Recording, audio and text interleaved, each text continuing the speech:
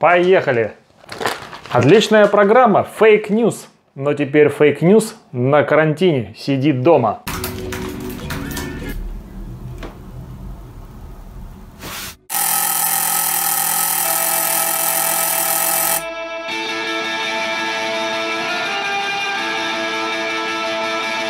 Да, Fake News на карантине. Маша на карантине. Она приехала из Латвии. Как так получилось?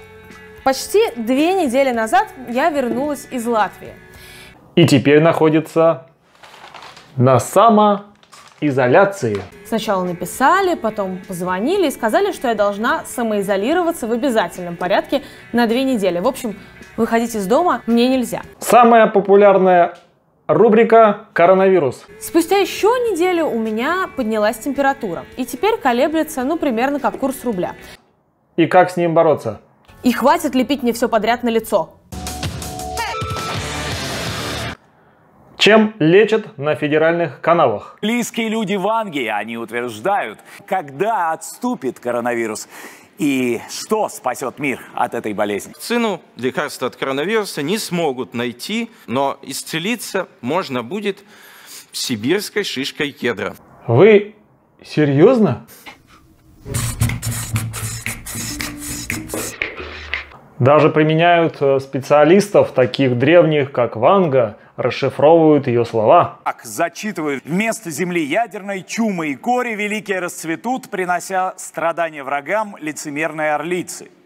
Что это значит? Начало войны, которая развяжет США при помощи генетического оружия.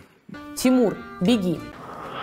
Беги, Тимур, беги, Форест, беги. Хорошему там не научат. А что же в это время у нашего классного старинного друга, ведущего Малахова? Ну и начинаем мы э, с нашего специального гостя. Это сам коронавирус. Лучше его убить прямо сейчас. Да я вот сижу и думаю. Оу, интервью с коронавирусом. Сам коронавирус пришел дать интервью.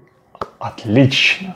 Так, давайте посмотрим, а что же в это время происходит на канале «Россия-1». Что же скажет наш любимый пеплоистребитель, наш кисель? У нас в России, к счастью, коронавирус пока под контролем. Да, еще одна важная деталь. По-прежнему коронавирус россияне домой привозят прежде всего из-за рубежа.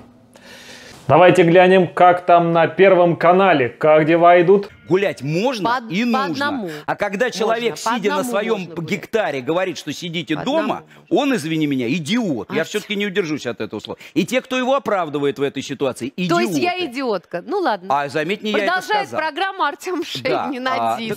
Ну, мы видим, что тут мнения разошлись. Кардинально разошлись.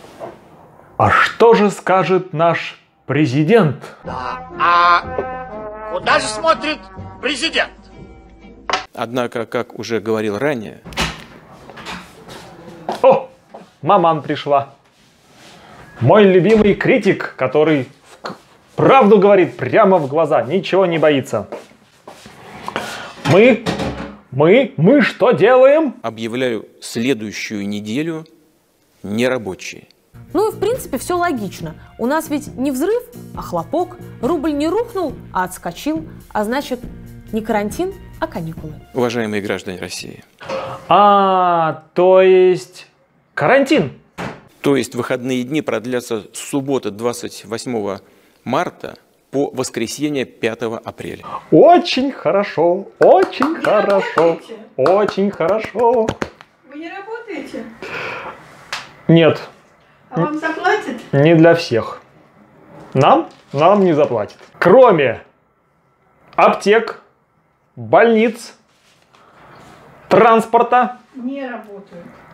производственных столовых, Не работают. Банков. Не работают. магазинов, продовольственных. Еще органы власти. Ты что там выпиваешь? Органы власти пусть не работают. Ясно, не для всех. Этих не жалко. Кто-то должен пострадать. Или как в трех мушкетерах. Да, но тут денег только на дорогу туда, а обратно. Могу вас успокоить, обратно мы вернемся не все. А вот что сказал Сергей Собянин по поводу того, что в метро все прекрасно. Некоторые ресурсы публиковали информацию о якобы закрытии столичного метрополитена на карантин. И это неправда. Метро вообще невозможно остановить. Это самое лучшее. Там все дезинфицируют, все протирают. Это самое лучшее метро. И оно полностью безопасно.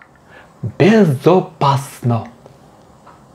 Нам нельзя его закрывать, потому что это огромный сложный механизм.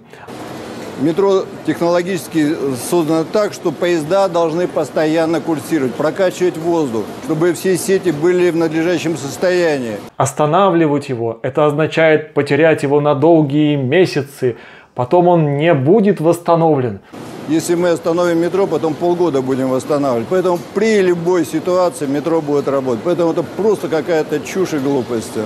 Муть, э, чушь всякую собирают. Там надо постоянно гонять поезда, чтобы он гонял воздух. Это огромная вентиляционная система. Гоняй поезда, гоняй. Но без людей. Понимаешь, без людей. Если тебе его не восстановить по какой-то причине, на Украине его закрыли, в других местах тоже, я слышал, закрыли. А у нас его будет не восстановить. И все бы ничего, если бы за этим не стояла вполне определенная история. Денег, что ли, не будет? Это да, это ты и потеряешь. Просто денег нет. Вы держите здесь, вам всего доброго, хорошего настроения и здоровья. Но тебе, скорее всего, проще потерять людей, чем закрыть метро. Хорошего вам настроения и всего доброго. Хорошего вам настроения. Здоровья главное. Хорошего вам настроения. Главное это здоровье. Вы держитесь здесь. Просто денег нет. Опа! Внимание, следующая неделя объявляется по всей стране нерабочей. Карантин в России вводится с 28 марта по 5 апреля с сохранением для всех заработной платы. Но не всем. Все свободны.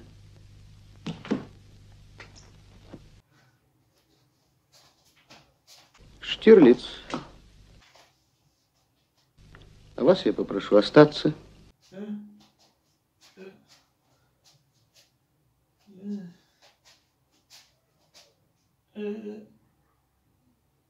Просто